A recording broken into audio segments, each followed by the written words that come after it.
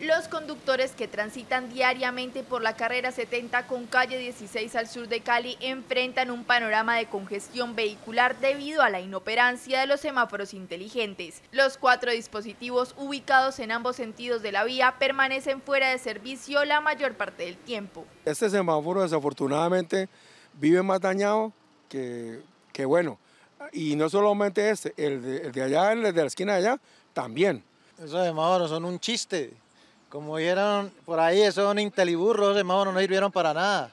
De 2 a 6, 7 de la noche hay una tranca que no hay quien, una hora, dos horas de tranca. Esos semáforos los pusieron y, y están iguales que los viejos. Pues en este momento, mira, hay un guardia regulando ahí porque los semáforos están apagados.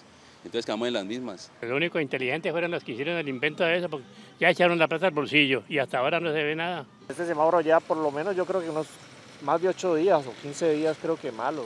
Siempre hay un guarda aquí en, lo, en las mañanas, pero en las noches no, no hay nadie. Y hay muchos en todo Cali que esos semáforos inteligentes no sirven. Están ahí puestos de adorno y, y estamos llevados en movilidad. Para lo único inteligente que sirven es porque descansan cada ocho días los semáforos, pero muy malo. O sea, una inversión que le perdió la ciudad de Cali. La personería de Cali abrió indagación preliminar debido a la interrupción del servicio y el incumplimiento contractual. Se investiga la inversión de 34 mil millones de pesos en esta instalación que en lugar de mejorar ha perjudicado la movilidad en la ciudad.